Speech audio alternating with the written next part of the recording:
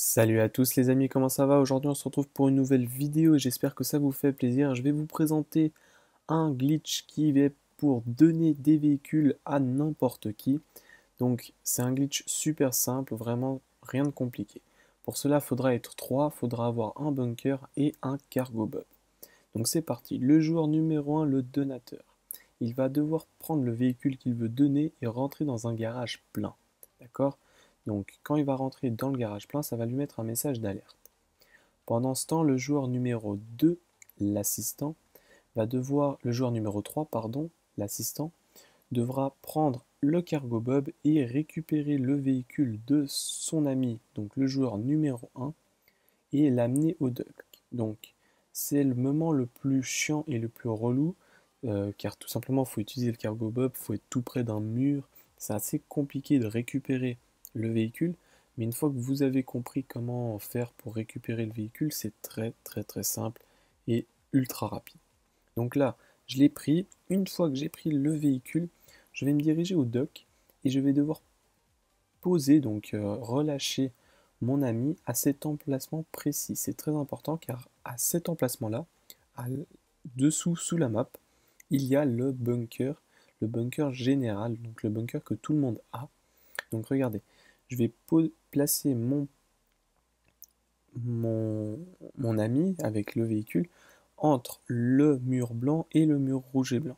Donc une fois que ça c'est fait, je fais flèche de droite, je le lâche, et une fois qu'il est sous la map, je lui dis t'es sous la map et tu fais rond. Une fois qu'il a fait rond, il va se voir tomber dans le ciel, puis tout à coup taper contre le sol. Ça veut dire qu'il est, est au bon endroit. S'il peut rouler et qu'il n'y a pas de bug quelconque, il descend du véhicule, il fait pavé tactile pour se mettre en première personne. Et une fois qu'il est en première personne, il repère un peu où il est et il essaie de se placer dans une zone où on peut accéder et voir le véhicule. D'accord? Donc moi là, je me suis placé juste devant l'entrée où il y a le MOC, comme ça je suis sûr que quand ils rentrent dans le MOC, dans le, bunker, ils verront tout de suite mon véhicule. Une fois que ça c'est fait, pour pouvoir rester en troisième personne et voir tout le bunker sans être en première personne, il vous suffit de monter sur euh, la, palette de ciment ici et vous mettre en troisième personne une fois que vous êtes dessus. Ok? Donc là, boum, je me mets en troisième personne.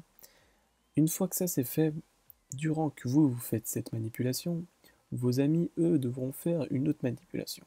Donc le joueur numéro 2, donc le receveur, devra préparer le l'élégie qui est dans son centre d'opération mobile, donc la commander avec le pavé tactile en faisant pavé tactile centre d'opération mobile, demander véhicule personnel.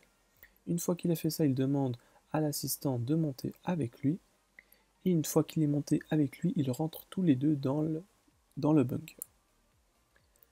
Une fois que le chargement du bunker, qui est très très rapide, je vous rappelle, sur GTA, une fois que le chargement est terminé, tous les deux devront se placer derrière le centre d'opération mobile et le joueur numéro 3, l'assistant, devra monter dans le véhicule du joueur numéro 1 qui est dans le bunker. Donc regardez, là, je vais me placer derrière le MOC et le joueur numéro 2, il va tout simplement, le joueur numéro 3, il va tout simplement aller monter dans le véhicule et redescendre pour pouvoir faire apparaître le véhicule au joueur numéro 1. Donc, le joueur numéro 2 là n'a rien à faire. Voilà. Boum, vous voyez que le joueur numéro 3 est monté, le véhicule est apparu. Là, c'est très important de mettre le véhicule en accès à tout le monde. Donc vraiment, faites-le, c'est très très très important. Une fois que vous avez mis l'accès au véhicule tout le monde, le joueur numéro 1 devra se diriger vers les poteaux jaunes ici présents et il pourra accéder aux bombes collantes. Donc vu qu'il peut utiliser les bombes collantes, il va devoir les placer sous le centre d'opération mobile. Donc voilà, vous mettez quelques bombes collantes à droite et à gauche, comme ça vous êtes sûr que vous allez exploser le centre d'opération mobile. Moi j'en ai posé 5, vous pouvez en poser 4, 3, combien vous voulez, mais mettez dans le plus possible, au moins vous êtes sûr que comme ça le centre d'opération mobile explosera. Une fois que ça c'est fait, le joueur numéro 2 et le joueur numéro 3 devront se retrouver tous les deux dans le véhicule. Le joueur numéro 2, donc le receveur en tant que passager, en tant que conducteur, et le joueur numéro 3 en tant que passager. Très important, il faudra que le joueur numéro 3 ne soit pas en PDG, donc il doit s'enlever du PDG.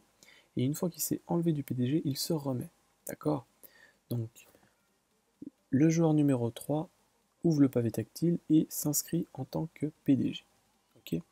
Une fois qu'il s'est inscrit en tant que PDG, il accepte le message d'alerte. Donc, j'accepte.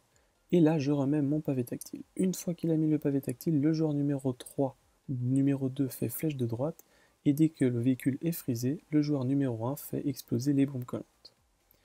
Une fois que c'est fait, le joueur numéro 1, le donateur, va en mode en ligne, jouer activité créée par Rockstar, mission, et il lance un travail de titan. Une fois qu'il a lancé un travail de titan, c'est au joueur numéro, numéro 2, le receveur, à lui de faire la manipulation. Il va devoir faire pareil. Je vous rappelle que c'est très important de mettre en public. Le joueur numéro 1 devra mettre le salon en public. Une fois que c'est fait, le joueur numéro 2 va faire exactement la même chose, c'est juste qu'il va rejoindre le joueur numéro 1. Donc pour cela, tout simplement, vous faites option en ligne et vous allez dans joueur. Une fois que vous êtes arrivé dans joueur, vous allez tout simplement sélectionner le joueur que vous devez rejoindre, donc le joueur numéro 1, Kawasaki, pour moi dans ce cas-ci. Je rejoins Kawasaki et je fais rejoindre partie. Une fois que j'aurai fait rejoindre partie, je vais avoir deux messages d'erreur et je vais accepter les deux messages d'erreur. Donc le premier message d'erreur qui me dit voulez-vous vraiment quitter la session? Je mets oui et le deuxième d'erreur qui me dit la session est privée. C'est tout à fait normal. Une fois que ça s'est fait, vous allez réapparaître dans le bunker. Vous allez descendre du véhicule et monter dans le véhicule de votre ami. Donc là, je monte à l'intérieur du véhicule de mon ami. Ici, vous pouvez remarquer que mon ami a mis que en passager.